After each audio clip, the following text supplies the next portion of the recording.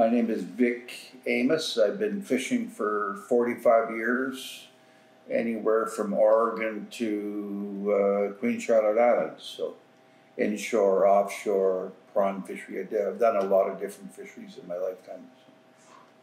Uh, yeah, Terry, Terry Amos, um, fisherman for many years too, thirty years or more as an owner operator. Uh, grew up in it and um, traveled the whole coast, also the BC coast, some offshore into uh, Oregon and Washington too. Okay, what's important to me in the in the fishery is is that we maintain a family-based fishery where I do with my kids and my grandkids, my granddaughters and my grandsons, my daughters, and uh, that we uh, and it's not always about making money. It's it's also about you know having fun. You know, you make it fun for them. Um, when when I grew up as a kid, what I fell in love with was when the weather was bad.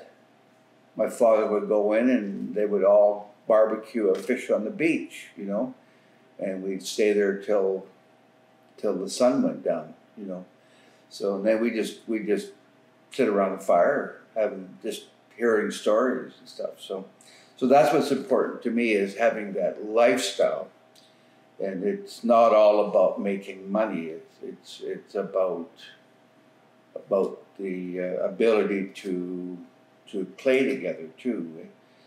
Um, okay.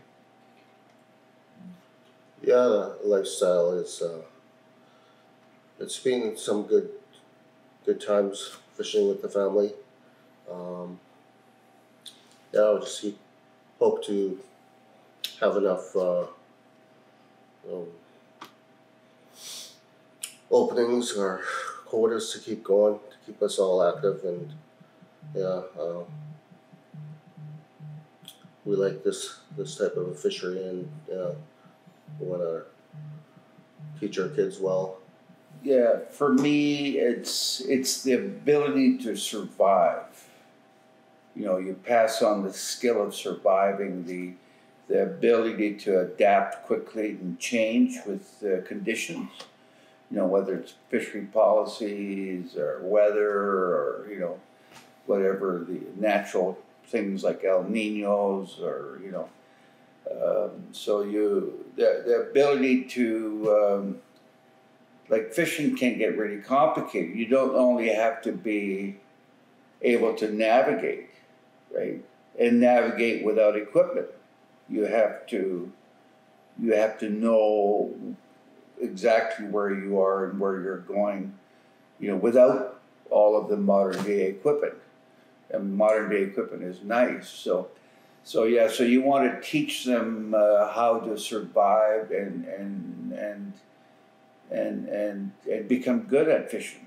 You know, it, it isn't just going out and catching fish. There's there's a lot to it. You know, you have to know how to uh, you have to know how to maintain your boat, and a lot of people don't know how to do that. They don't know how to manage money. You have to know how to manage your money, uh, because if you don't manage your money, there's to be nothing to do any work on the boat with. Eh? So so that's sort of what I want to leave with my kids is uh, is the ability to um, to identify all of those skills, you know, from weather, navigating, maintaining gear, maintaining the boat, and and knowing where and how to fish the tides, the moons, you know. What, what's the best time to go out? Don't go out on a full moon. You know, a few days after the full moon the uh, the tides are the biggest. You know, they're they're they're the largest tides. You know, and uh, so you try to go out when the tides are a little smaller, and uh, you know, especially if you're not so bad in the shallow water, but you start getting into that deeper water, you really need. Yeah, the tides are stronger in the deeper water. Undertows are stronger. So, so you really have to know know a lot about tides and weather and uh, you know, and, and what's nice now that I see is uh, the modern technology, the cell phone, I can pull it up and, uh, and I don't have to rely on just Environment Canada, I can actually look, I don't know where this website comes from, but it's pretty accurate, you know, with the technology of today, satellites and whatnot. eh. So, uh, so you, yeah, there's a lot to teach kids eh, and uh, patience, you know, to teach them how to be patient, how to work together, and um yeah, I, I mean, I could go on all day long about that, but yeah, that's sort of the basic. Uh, and I think that uh, if they learn the family values plus the skills, I think that they're um, they're they could go to any job, right? And that's what's happened with all of my kids. My kids, you know, have all gone on to uh, to to to do well. You know, whether my oldest daughter is a teacher, uh, my other daughter works in construction. She she does really well at it. She's got a brilliant mind for um, for numbers. Eh? Uh, my son Tom is in the Navy in, in Halifax, and he's he'll retire there. You know, so and my son Will runs a boat. My son James. They all learned how to work. So when they whether they're fishing or they're not fishing, they take that same skill into whatever they're doing. It's it's it, it's that skill of learning how to fish is transferable into whatever field. My kids have all gone into different fields. So I think it's important to teach kids to know how to work. You know, what it takes to be a good worker because if you're a good worker, you'll always have work. You'll always have a job. So Going back a ways uh, with my, my grandpa, um, he, we didn't have the updated uh, weather programs we have now. So he would he would always be looking up at the skies and the horizons, and he'd be able to read them pretty well actually. What was forthcoming.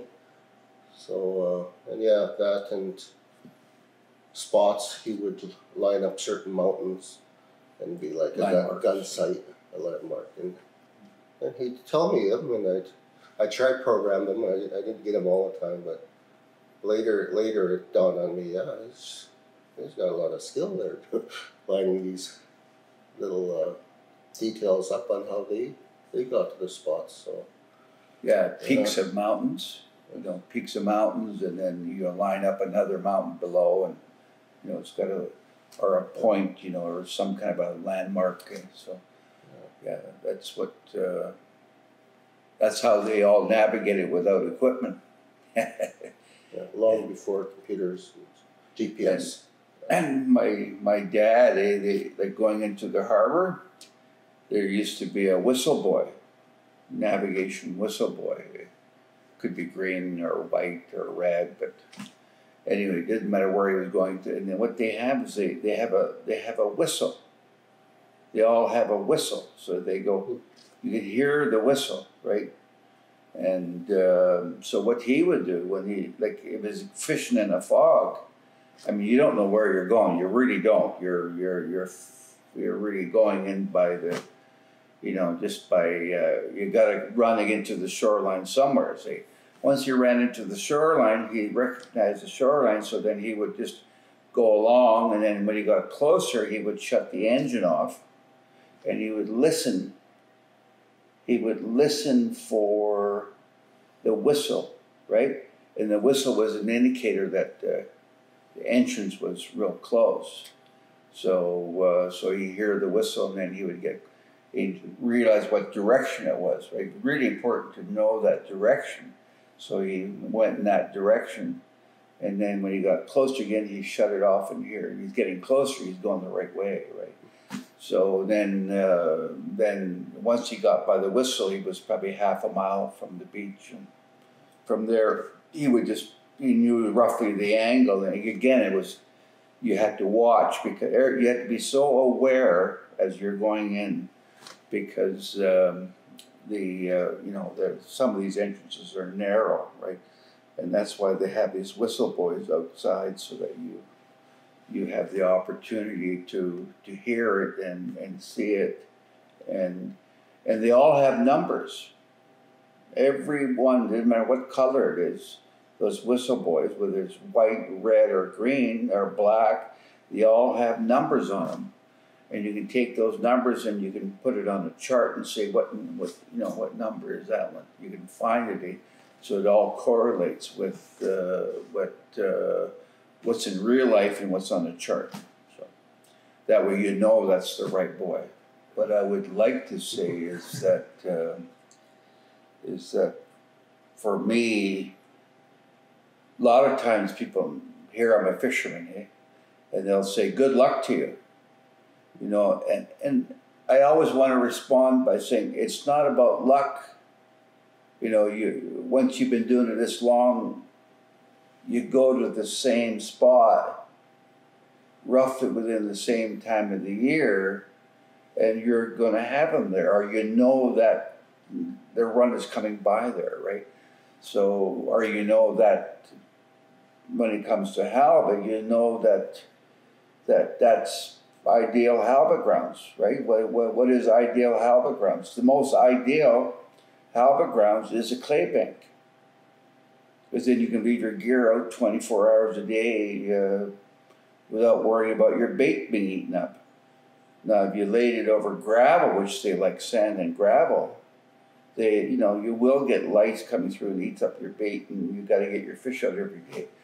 So, I mean, it's important to know those, uh, you know, the, because we we've had bad days. You know, I've had days of one, two, you know, but I've had days where I absolutely load it. Right, they, they come right, and and uh, but it's a matter of uh, it isn't a matter of lucky. It's a matter of knowing where to go. You know, you will have those days where where everything just lines up and it falls into place. And then there's days where you don't. But in the long run, you um, you know you know so much about where to go that uh, it really isn't about luck as much as the skill to do it. So, okay. Mm-hmm. Uh, yeah, for me, I think um, uh, starting out a morning, we'll get our gear out, and everything will be quiet, and then you're watching and listening. Your your crew is out in the back watching. This is on trolling, and it's uh, you're just kind of waiting there because you know something's going to happen. They're going to bite sooner or later, and then all of a sudden, your bell starts ringing. Boom, boom, boom.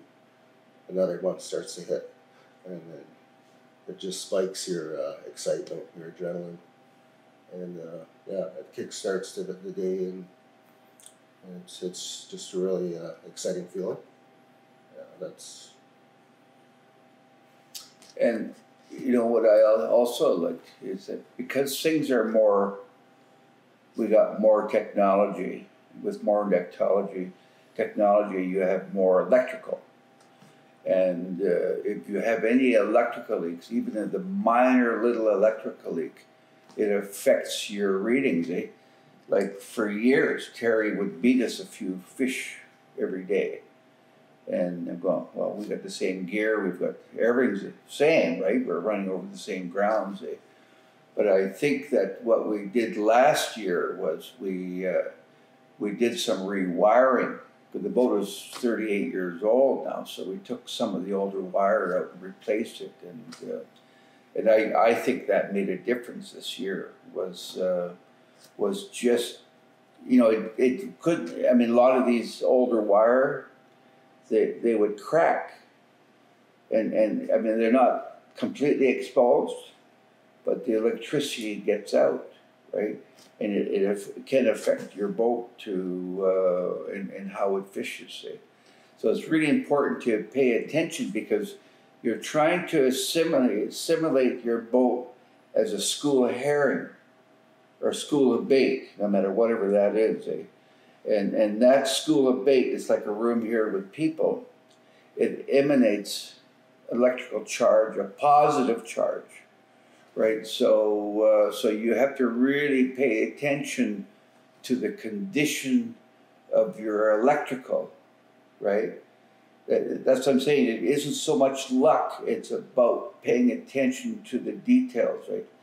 And um, because uh, you could have one leak on an electrical pump with a bilge pump in, in, in the hatch where it's always wet. And if that's leaking in there, it doesn't always pump out electricity, but once the water comes up and it pumps it out, it might pump it out for a minute. When the water comes up, level comes up, and the automatic pumps kick on, then you have this. All of a sudden, you got this charge going out, right? And and and if you have a negative field, right, it also chases fish away. If you got too much of a charge, it's no good either. So it's so you really have to get that balance of uh, electrical, and and usually around half a volt to seven tenths of a volt, right? Not quite a full volt, maybe half of a volt to, on your hull. You're just emanating that as you're going through the through the water. So, yeah, there's lots to it. Yeah, I think for me, it's important for my kids, if they're, any of them are going to do it, for them to always have options.